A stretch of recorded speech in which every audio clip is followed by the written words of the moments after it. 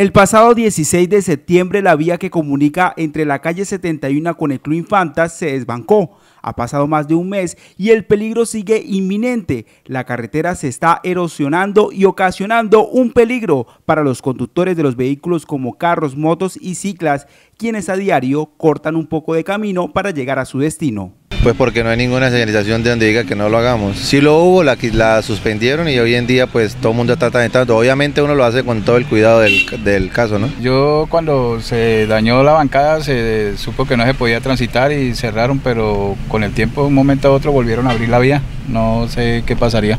No se puede transitar por la vía.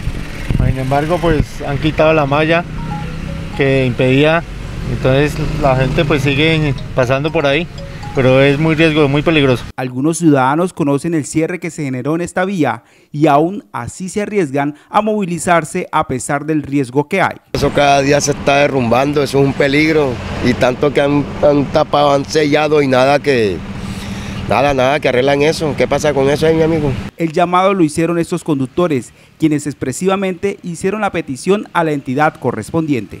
Actúen rápido con, con la eh, la mejora de ese punto, el arreglo de ese punto, porque hoy en día, como siempre pasa en Colombia, tiene que esperar que pase algo para que sí actúen y hagan el, el arreglo de esa vía que está ahí en erupción. Lo que hagan presente y para que arreglen eso ahí, porque cada día más va a ser un peligro, aunque ya es, un, es prohibido a uno pasar por ahí, uno es necio, uno está pasando, porque es así, uno tiene que ser consciente de las cosas. Cerrar la vía y que arreglen la bancada lo más pronto posible porque es una vía muy importante para acortar camino y llegar rápido. Se espera que la Secretaría de Infraestructura pueda realizar dicha intervención y los conductores tengan un poco de tranquilidad al movilizarse por esta vía que conecta a las comunas 2 y 3 del distrito de Barranca Bermeja.